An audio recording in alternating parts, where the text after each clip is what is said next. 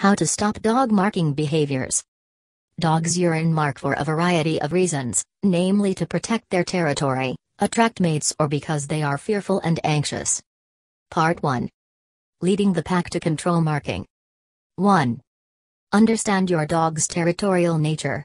Dogs are naturally territorial, and their first priorities are to establish and protect the pack, its belongings, and its territory. They do this largely through instinctual marking. Within a dog's territory exist locations that he most particularly wants to protect, such as favorite feeding sites and dens. 2. Know the other roles of marking. Marking is also used to support the instinctual pack hierarchy and to let other dogs know when they're ready to mate. A dog pack communicates amongst itself and with other packs in large part through their sense of smell. Part 2. Ruling out other reasons for marking. 1. Find out if he has a health problem. Dogs will also mark when they have health problems, such as a bladder or urinary infection, in reaction to a medicine, due to incontinence and other medical issues. If your dog is urinating very quickly or more frequently than normal, take him to a vet. 2. Address behavioral problems. Your dog might have a submissive or excitement problem, especially if he marks during play, physical contact, greetings, or scolding and punishment. If this is the case, your dog will often cringe or cower, roll over on his stomach, duck his head, avert his eyes, or flatten his ears. 3. Determine if he's not properly house trained. His marking could also be because he isn't totally house trained. If so, feed him on a consistent schedule and remove food between meals. Take him outside to eliminate frequently and keep an eye on him at all times to prevent accidents inside. 4. Consider if he has separation anxiety. He also may mark because he has separation anxiety, which is indicated when he seems nervous or upset right before you leave. To help him with this, use counter conditioning, in which you create a positive association with your leaving through giving him a puzzle toy or treat. Part 3 Taking preventative measures. 1. Use positive reinforcement. When you catch him in the act of marking, interrupt his marking, firmly say A. Or clap your hands, take him outside and reward him for eliminating outside. Catching him in the act and correcting his behavior can be extremely effective, however, there is a risk he will associate the punishment with you, and merely avoid toileting in that spot in your presence. 2. Reduce social triggers. Exciting social situations can trigger marking. Try to keep a male dog away from female dogs in heat or away from other male dogs if you notice this increases marking. Avoid overstimulating social situations, such as visiting a friend's home where other dogs have marked. 3. Limit his access to things he often marks. Keep objects that frequently make him mark put up. These might be new purchases, a visitor's belongings, or things of yours he has negative associations with. Also, don't let other dogs in your home or yard if they will mark it. This will cause yours to overmark. 4. Restrict your dog's access to doors and windows. A dog will often mark if he can see another dog outside. If you can't limit this access, try to keep other animals away from your house and yard. 5.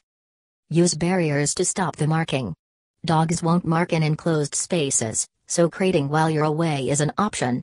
You can also put a crate or your dog's bed over an area your dog frequently marks.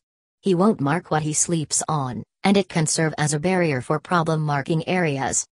6. Place streets near predictable marking spots and objects. If your dog only marks certain objects like your shoes, which can bring in other dogs' marking sense, or in certain locations, put treats around these objects and spaces. 7. Make previously marked areas unpleasant or inaccessible. Try putting down double sided tape, a vinyl carpet runner turned upside down to expose the rough side, or other humane booby traps to keep him away from those areas. 8. Clean areas that your dog has marked. This is extremely important because dogs are attracted to spots they've already marked or that have been marked by a visiting dog. Masking the odor isn't enough, however. You need to do your best to neutralize the odor. Soak the object, if possible, or spot with a pet urine enzymatic cleaner and let it dry.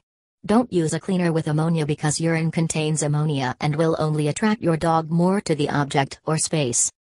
Guidance Don't prevent your dog from marking while on walks. This will frustrate your dog and increase indoor marking. Part 4 Preventing anxiety induced marking. 1. Remember that anxiety is a major cause of marking. A variety of things can trigger enough anxiety to mark new objects and people, new environments, separation from you or other members of the household, conflict with other pets, etc. What's more is that marking caused by anxiety often results in the dog eliminating more urine than normal. It also causes them to mark more on non-vertical surfaces. 2. Introduce new pets to each other strategically. The addition of a new pet to the household can increase your dog's marking. Thus, you want to introduce them in a controlled manner, and slowly. The way in which you introduce them depends upon the type of animal you're adding to your pet family. 3. Introduce a new baby to the home. Your dog may consider a new baby an intruder just as he does a new pet. Choose a quiet room for the introduction and sit down with your baby in your arms. Have someone else leash your dog and take him into the room, talking to him in a calm and happy voice. If your dog's boil language is relaxed, bring the dog to the baby and allow him to sniff your baby's feet for a few seconds if he wants, speaking softly to your dog. Then praise your dog and command him to sit or lie down before rewarding him with a treat. 4. Introduce your dog to new adults thoughtfully. Dogs can often perceive new roommates, house guests, and visitors as interlopers invading their territory. They also will tend to mark that person's things. The best way for them to become friends is to have the new person feed, groom, and play with your dog so they can bond. Both you and the new person should use positive reinforcement, praising and giving treats to your dog when he is friendly. Keep the new person's personal items up and out of the way so your dog can't mark them. 5. Try a synthetic hormone diffuser, collar or spray. A dog appeasement pheromone, DAP, device emits synthetic appeasing pheromones to mimic the ones a lactating mother dog secretes. They are calming hormones that help the dog relax. DAP diffuser should be used in a room that your dog uses or marks most. Simply plug it into an outlet, they work for about one month. DAP sprays should be sprayed 15 minutes prior to your dog entering the area.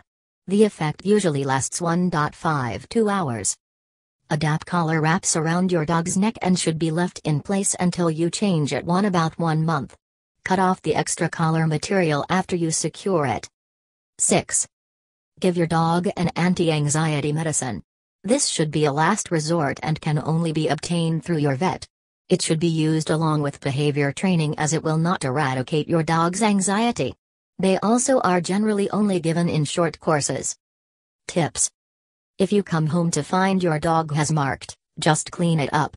Don't take him to the spot or object and yell at him or rub his nose in it. He won't associate that type of punishment with his marking. And it can make him more fearful and insecure. If you've tried everything you can to stop the marking, consult with an animal behaviorist. Figuring out the reason for your dog's marking will help a great deal in reducing to eliminating it. Take notes or create a chart that will help you track what was happening when the dog marked, how he behaved prior to the marking, where he's marking in relationship to these issues, etc. Sign up now. Like, share, subscribe to get the latest content from Keen Inklings. 3. 2.